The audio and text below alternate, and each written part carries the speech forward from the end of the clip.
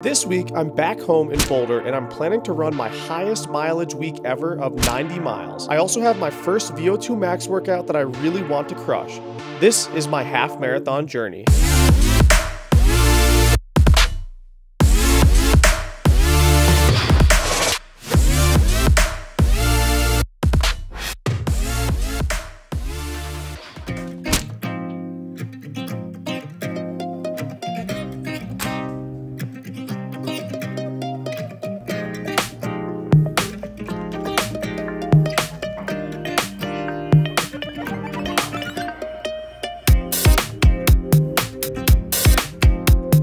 So on Monday morning, Allie and I met up with our friend Charlie Lawrence and Charlie Sweeney for a 10 mile morning run that was easy from Neva, aka Left Hand Trailhead. And I wanted to take you guys along on the run because it's absolutely gorgeous and it's one of the main reasons why I wanted to move to Colorado. We live within 10 minutes of this run, which makes it super accessible for us. And one of the main reasons I love this is because of the dirt roads. I think that the dirt roads is an absolute staple of Colorado in general. And this run has really cool views as well as you can see. So we had a really good run and we got some good conversations in and kind of just shook the body out through the system and overall we all felt good. And then after the run, Allie and I crushed some hill strides. I did 6 by 20 second hill stride just to cap it off. So in total, I ended up getting 11 miles on the day. We finished. High five with the Insta 360.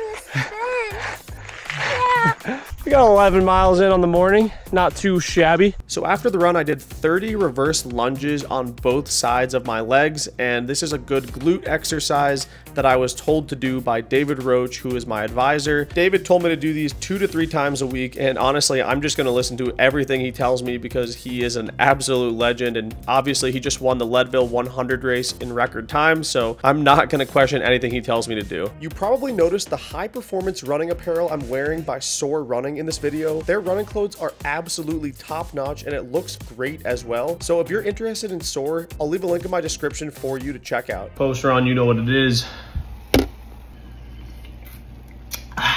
Sponsor me, Coke. You are the biggest jerk. It has been a busy day, folks, but let's take a look at the dinner here. Maybe let's, you walk us through it. Yeah, so we've got some roasted Brussels sprouts and onions. Then over here we have garlic bread, some meat sauce, and some bow tie pasta. People, people, I just had a delicious dinner that Allie made for me. It was absolutely phenomenal. But uh, also, guys, I just I'm really excited right now because I have this random YouTube short that is absolutely going viral. I have not had like a viral post like that in almost ever, really. So, for whatever reason, people outside of this incredible little community we have are watching this from last to first YouTube short thing. And uh, anyway, Allie and I have to get to bed super early tonight because we Super early. we've got a big workout tomorrow.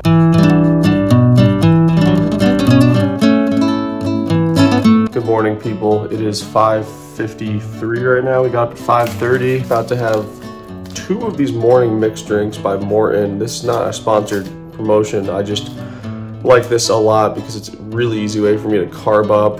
Allie's,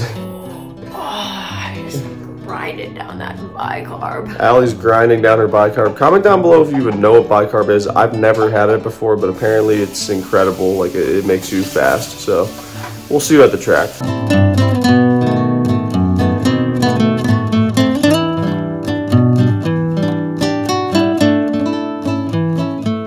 Here at the track. Uh, shout out to Ugo for filming today. Came on very short notice, but I'm here with Charlie. Uh, he's warming up somewhere. But yes, the workout is 8 by 800 at about 10K pace. I don't know what the times are going to be, maybe 220 to 222 for the first part, and then we might cut down a little bit. So it's going to be the first real hard VO2 max workout. So hopefully you guys enjoy it.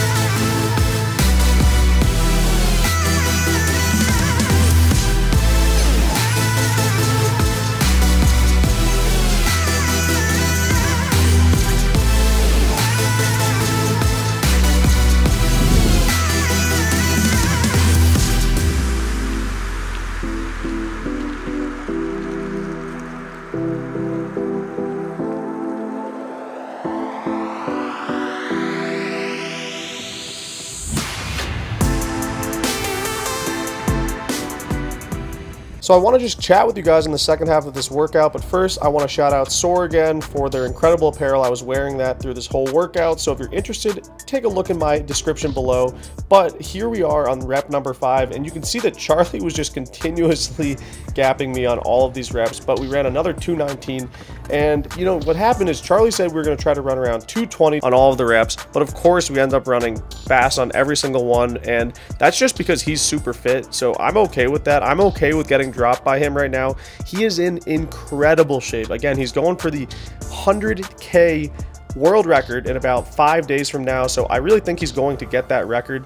So yeah, he just continued to lay down the hammer. And also he led every step of this workout for me. So I'm obviously going to, you know, be very happy that he did that and I'm not going to complain at all. But yeah, in terms of how I felt during this workout, it was overall really, really good and really, really encouraging because I've been doing a lot of really slow mileage, not too many workouts, basically one workout a week and not too much fast stuff like in this VO2 max range where it's like 430 to 440 pace.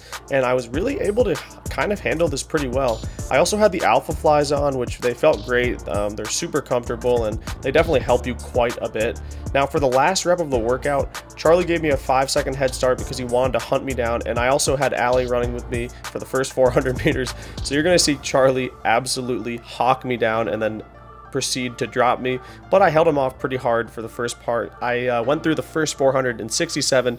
I wanted to go a little bit harder on the last rep and see if I could go faster than the 218 that I had been running, but immediately, well, not immediately, but about 700 meters to go, Charlie came up and just went right by me, and yeah, so again, this guy is in uh, crazy, crazy good shape right now, but again, I have to just be happy about my own workout because I ended up running a 215.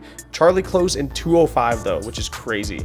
Then at the end of the workout, I had 4 by 200 meter build. Uh, I didn't really time these, but I, I, would say that they were probably roughly around 30 seconds-ish, where I just built every 50 meters. And that's because I'm trying to kind of maintain my speed right now while I'm doing this heavier block of 90 miles. So in total this week, I did end up hitting the 90 mile marker at the end of the week, which was super, super hype, but you'll have to watch the end of the video to see what else happens. We just finished up.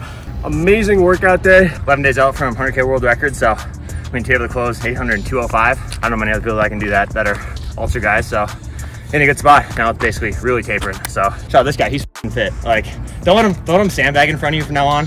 Like I'm gone for two weeks. If he says he's out of shape, like put him on blast in the comments. So by the way, listen to our podcast. If you want to hear us yap annoyingly for about 50 to an hour while you're on a run or something, listen to our podcast. You it's actually, actually it's only annoying when Spencer's the one talking. When I'm talking, it's very demure, it's very mindful. Pretty bad. So just listen down below. We'll leave a link. It's called Every Step of the Way. Oh, Georgie. he goes running after that frisbee. All right, about to double with Charlie. So in the afternoon, I did a five mile double with Charlie, and this was actually the first double I've done in this training block, so I was super, super excited about doing it. And it's important to double on workout days because it's like hard days, hard type vibes. But overall, great time, and the double was fantastic. Successful run, folks. Great run with Charlie.